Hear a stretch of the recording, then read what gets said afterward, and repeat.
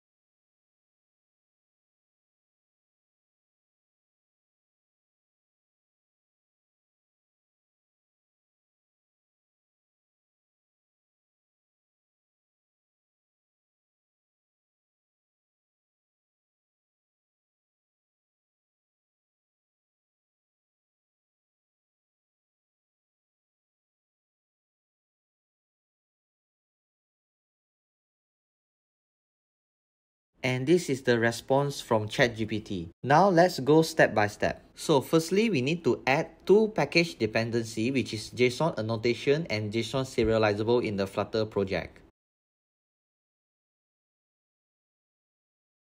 So here in the output, we have a version solving error. Let's try remove the JSON serializable version.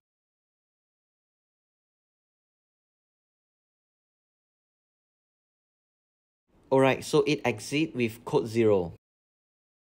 Next, second step is to create a Dart class, which we have created in our model folder.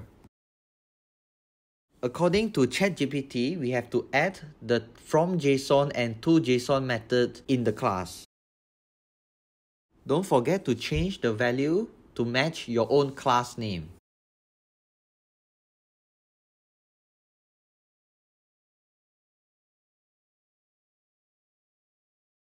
And also don't forget to add the required configuration on top of the class. After adding all, the next step is to run the code generator command.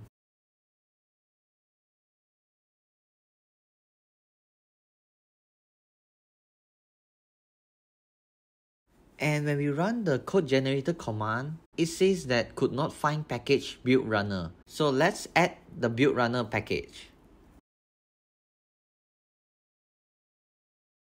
After adding the missing package, let's rerun the code generator command. Now we can see that the command successfully run and the code is generating. The code generated succeeded but we have an error. Oh, I forgot to change the file name for the part configuration. This part file name should match the model class file name, which is user dot dart.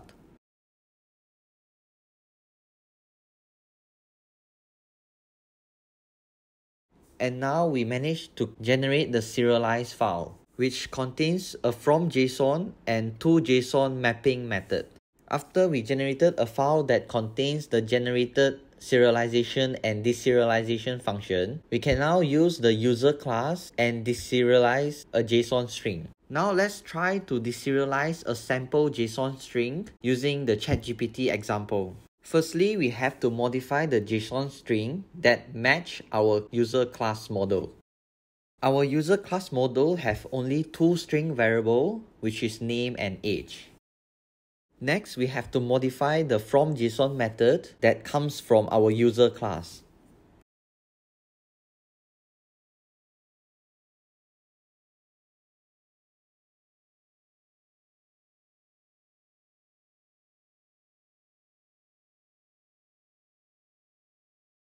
So here we have created an object from the user class which called person. Now we can access to this object variable using person.name or person.age.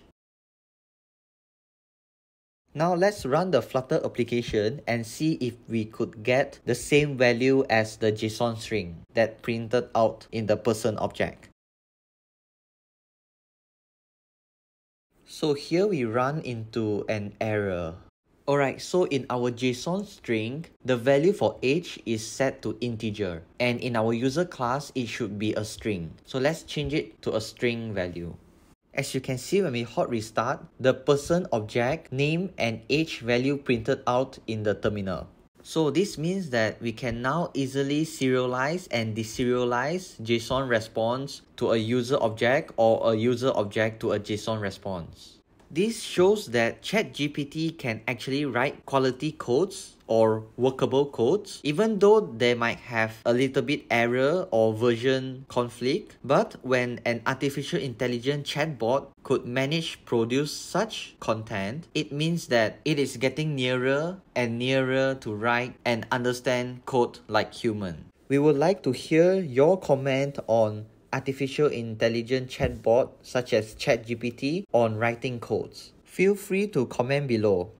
Here comes to the end of the tutorial. If you like our video, don't forget to like, share and subscribe to my channel. See you in the next tutorial.